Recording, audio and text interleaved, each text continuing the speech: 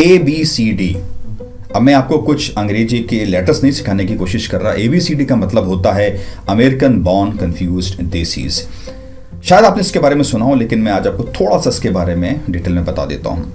ए B C D वो लोग हैं जिनके माता पिता इंडिया से गए या साउथ एशियन कंट्री से, जिसमें आप श्रीलंका ले सकते हैं, नेपाल ले सकते हैं, पाकिस्तान ले सकते हैं, अफ़गानिस्तान ले सकते हैं, जो साउथ एशिया के जो कंट्रीज़ हैं।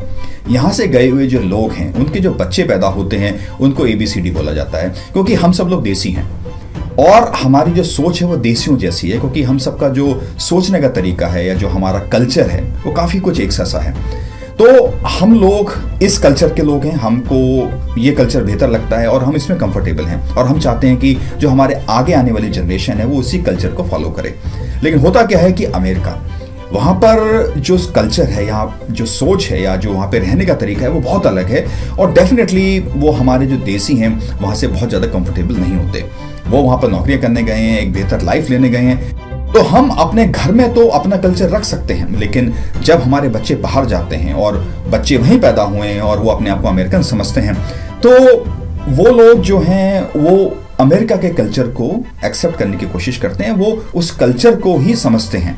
लेकिन अपने घर में जब आते हैं तो वो हम उनको अपना देसी कल्चर जो साउथ एशियन कल्चर है, उसको देने की कोशिश करते हैं तो वो कन्फ्यूज़ हो जाते हैं, क्योंकि बाहर उनको कुछ एक बहुत अलग कल्चर दिख रहा है और अपने घर के अंदर उनको एक बहुत ही डिफरेंट टाइप का कल्चर दिख रहा है। तो कहीं ना कहीं वो कन्फ्यूज़न आता है। इस चक्कर में उनकी जो पर्सनैलिटी है, वो कहीं कहीं ना कहीं बहुत ज़्यादा अफेक्ट होती है और डेफिनेटली बहुत ज़्यादा जो कॉन्फ्लिक्ट्स होते हैं क्लेश होते हैं, वो इस वजह से होते हैं। तो इनको बोला जाता है American born confuse desis A B C D तो इसको ठीक करने का तरीका क्या है? और इसका ठीक करने का बहुत ही कॉमन सेंस वाला तरीका है, कोई एक मिड वे आपको लेके चलनी है। आप पूरा का पूरा जो साउथ एशियन वाला कल्चर है, वो वहाँ पर नहीं लगा सकते, क्योंकि वो उचित नहीं है। आप उन बच्चों के साथ वो परेशानी एक बहुत बड़ी क्रिएट कर दोगे, क्योंकि बच्चे जब हैं, उस समाज में रहेंगे, उस सोसाइटी में रहेंगे, क्योंकि वो बहुत डिफरेंट सोसाइटी है। तो अगर आप बच्चों को साउथ एशियन कल्चर सिखाने की कोशिश करोगे, या आप उनके ऊपर वो फोर्स करोगे तो बच्चे परेशान हो जाएँगे क्योंकि वो कल्चर बाहर कार्य नहीं करने वाला। वो कार्य इनफैक्ट आपके लिए भी नहीं करेगा ठीक से।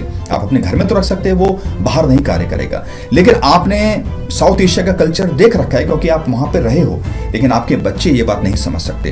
तो आपको कोई ना कोई एक ऐसी मिड लेके आनी है कि जहाँ पे आप भी कंफर्टेबल रहो तो इसमें आपको थोड़ा सा कॉम्प्रोमाइज करना पड़ेगा और उस देश का कल्चर क्योंकि वो आपने उस वाले देश को अपना माना है। आप उस वाले देश में गए तो आपको उस वाले देश के कल्चर को एक्सेप्ट करना ही पड़ेगा। कोई और ऑप्शन नहीं है।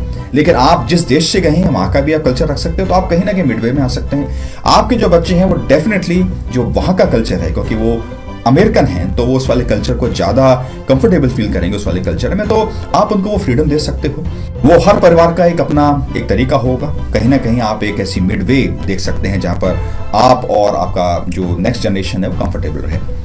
अब ये तो हो गए ए बी सी डी अब इसके बाद एक और नए टाइप के लोग आते हैं उनको बोलते हैं हम सी ए डी कैड ये है कंफ्यूज अमेरिकन देसीज ये वो लोग हैं जो अमेरिका तो नहीं जा पाए, ना वो यूरोप जा पाए, ना वो ऑस्ट्रेलिया जा पाए, ना वो न्यूजीलैंड जा पाए या कोई और बाहर का जो कंट्री है, वहाँ जा पाए, लेकिन वो इंडिया में रह गए, वो यहीं फंस गए। तो वो अपने आप को अमेरिकन समझने लगते हैं वो उस तरीके से बात करने लगेंगे, उसी स्लैंग में बात करने लगेंगे, अपने जो कपड़े पहनेंगे वैसे ही पहनेंगे, अपनी सोच भी वैसी रखेंगे। तो ये है कंफ्यूज अमेरिकन देसीज और इनको कई बार कोकोनट भी बोला जाता है। तो ये कंफ्यूज अमेरिकन देसीज हैं जो इस देश में रह गए, लेकिन अमेरिका जाने की तमन्ना रह गई या कनाडा जाने की तमन्ना रह गई और अगर वो वहाँ नहीं जा पाए तो वो इस देश में ही अपने आप को अमेरिकन समझ के उसी तरीके से कार्य करते हैं। और जो टर्म जैसे हम लोगों ने ए बी सी डी जो हमारे लिए है, जो जो चाइना के लोग हैं, उनके लिए है A B C American born Chinese. तो वहाँ पर भी वो सेम प्रॉब्लम है, क्योंकि चाइना का भी जो कल्चर है, वो बहुत अलग है अमेरिकन कल्चर से, और वहाँ पर भी वो छोटे मोटे कॉन्फ्लिक्ट होते हैं। लेकिन वो अगली जनरेशन के बाद चीज़ें सॉल्व हो जाती हैं, क्योंकि वो प्योर अमेरिकन हैं, और वो अमेरिकन की तरह ही सोचते हैं। सही में इन द एंड जो होना है कि घर के अंदर शांति रहे, आपके मन में शांति रहे और आप अपने कार्य को बेहतर तरीके से बाहर जाके भी कर सकें। तो कहीं ना कहीं आपको वो मिडवे लेके आने की ज़रूरत है।